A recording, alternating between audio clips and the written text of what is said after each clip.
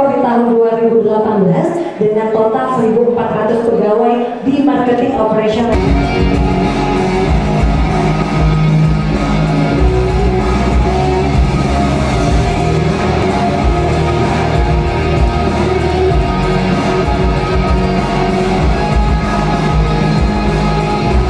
Akan mendengarkan speech yang sangat luar biasa, tentunya akan memberikan energi positif untuk kita semua yang berada di ruangan. Tidak ada Bapak Awan dan Pak Lutfi,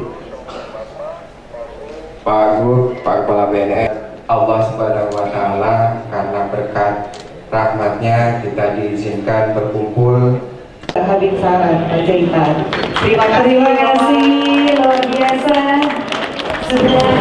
Ini adalah satu kegiatan untuk memotivasi, untuk menghentikan saat ini dunia kesulitan. Ini adalah satu kegiatan untuk memotivasi, semoga orang-orang pemahaman ini dan ini akan diekspos keluar untuk kita bisa membentengi diri pada zat-zat yang sebenarnya tak pantas untuk masuk di tubuh kita. Saya tak sebut satu persatu, Anda pasti tahu itu. Inilah apresiasi Pertamina untuk mengawalinya, untuk memulainya. Saya berharap instansi-instansi lain ikut mengikuti sama-sama kita mengawasi anak-anak kita semua. Oke? ini kan sekarang ini kan tidak Pertamina kalau untuk kita mengatasi lonjakan Terus kita lakukan mulai dari hulu ke hilir. Kita lakukan dari pedagangnya, dari penggunanya. Ini terus dilakukan oleh Pak Tugai. Masuk masuk yang dari luar. Semua banyak sekali sudah ditangkap. Pengguna-pengguna, pengedar juga sudah ditangkap. Dan kalau ini kita tidak bersama-sama semua, termasuk wartawan ini juga mengekspos ini semua, kita sangat sulit. Oke? Ya, terima kasih. terima kasih. Di Sumatera Utara sendiri 12.820 890 orang. Jadi anaknya banyak sekali. Inilah kita. Saat ini banyak sekali anak kita. Saya hari itu waktu saya tentara tak tahu ini Pak Betul.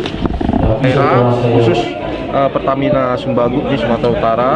Kami sudah berkoordinasi ya khususnya dalam eh, melakukan deteksi dini yaitu dengan melakukan tes urin kepada seluruh banyak pegawai baik dari Pertamina maupun yang dari anak cabangnya. Kita sudah melakukan tes urin sebanyak 2.500 ya salah.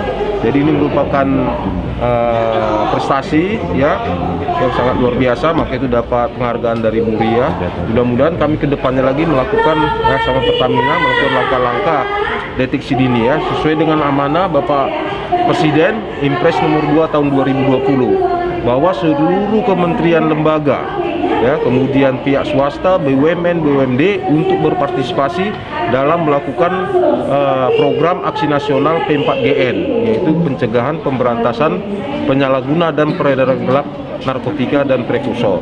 Inilah salah satu bentuk eh, kegiatan yang dilakukan dan ini juga akan dicek oleh Bapak Presiden melalui Menko Polhukam dan Pertamina nanti akan melaporkan sendiri ke Bapak Menko Polhukam.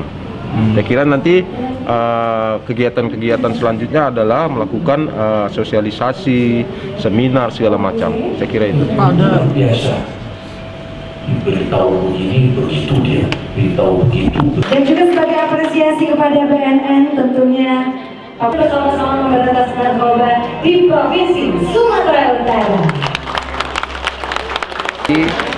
Kita bertanggung jawab terhadap penyaluran distribusi BBM sampai ke masyarakat dan operator-operator kita harus bersih dari nafsa.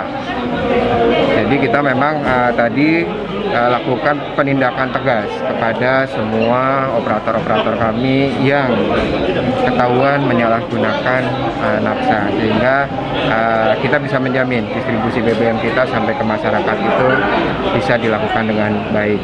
Gitu. pembinaannya seperti apa Pak? Tadi kan ada yang ternyata prosedur Iya, jadi kita bekerja sama dengan BNN, kita lakukan rehabilitasi seperti tadi. Jadi kita rehabilitasi, kita uh, biayai rehabilitasinya itu. Nah nanti kita harapkan dia sudah bersih dan bisa kembali lagi. Tapi kita juga uh, sudah berkomitmen dengan BNN kalau kejadian lagi sudah tidak ada ampun.